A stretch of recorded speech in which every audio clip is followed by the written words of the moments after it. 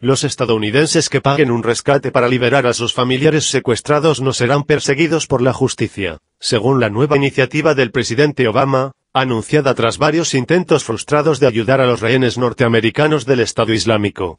El decreto firmado por Barack Obama no prevé ninguna responsabilidad judicial para aquellos que decidan pagar a los captores, aunque Washington se niega a cooperar con los secuestradores, informa New York Magazine.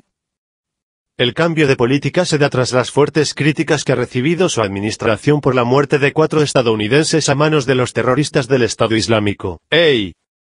Sepa más, general de Estados Unidos. Podríamos derrotar a ley. Pero después... ¿Qué?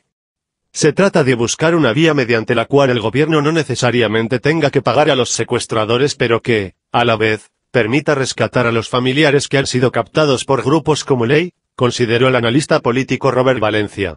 Algunos expertos afirman que la decisión de permitir a los ciudadanos de Estados Unidos pagar el rescate de sus familiares muestra la debilidad de la Casa Blanca ante ley.